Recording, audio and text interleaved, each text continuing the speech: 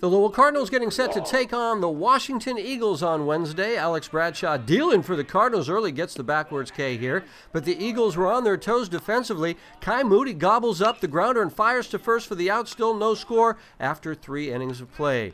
Washington gets it going in the fourth inning. Declan Lloyd rips one to left for a base hit. The Eagles get another hit to put runners at first and second for Aaron Mui, who finds a hole in center. Here comes Lloyd, and he is safe at the plate to give Washington a one to nothing lead. Back come the Cards in the bottom half with runners at first and second. Joe Solomon skies one to left, and this one is going to drop for a base hit. Bradshaw comes in to score, and we are all tied up at one all.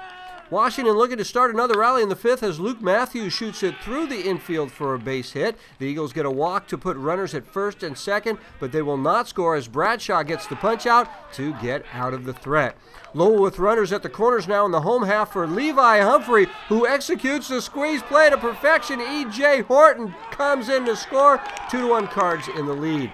Alex Bradshaw would do the rest as he gets another punch out here as Lowell wins it 2 to 1 over Washington. Bradshaw going the distance for the victorious Cardinals. AAA playoffs coming up next week.